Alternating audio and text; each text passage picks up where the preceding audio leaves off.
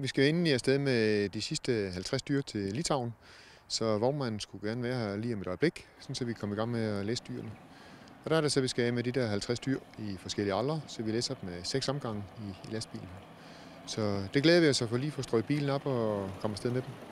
Og så skal vi over til de andre 45, som er gået over. Vi har lavet et samarbejde med nogen, der bor over i Litauen, øh, og meningen er så op, øh, opformere en større bestand derovre, så vi ender med måske at have ca. 180 køer, det er for målsætningen, og så vi kan afsætte øh, kød i hele Europa.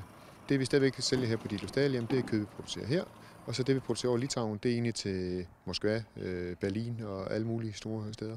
Så der i dag importeres der cirka en container fuld bisonkød om, øh, om ugen til Europa, og det kan vi lige godt på at, at lave noget selv.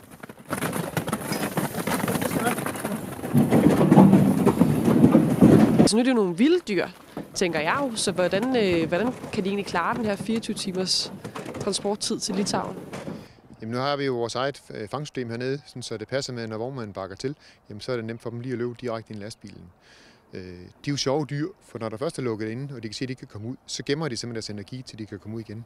Og de har jo en helt anden balanceevne i forhold til almindelig kvæg. Det vil sige, når man kører med dem, mærker man stort set ikke, at man har dyr i bilen. De plejer at være fuldstændig rolige. Og der er også så plads nok, at de kan lægge sig ned undervejs. Vi har selvfølgelig strøget bilen op, så der er masser af halm, og så er der hø, øh, så de kan spise det, de har lyst til. Og så er der så også øh, drik to i øh, hver enkelt rum, så de kan få alt det, de vil.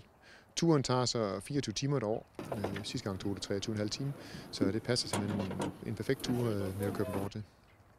Når de kommer derover, så er det bare at lukke op, og så skal jeg love, at først skal de nok komme ud, og så kommer de ud på nogle store markeder derovre.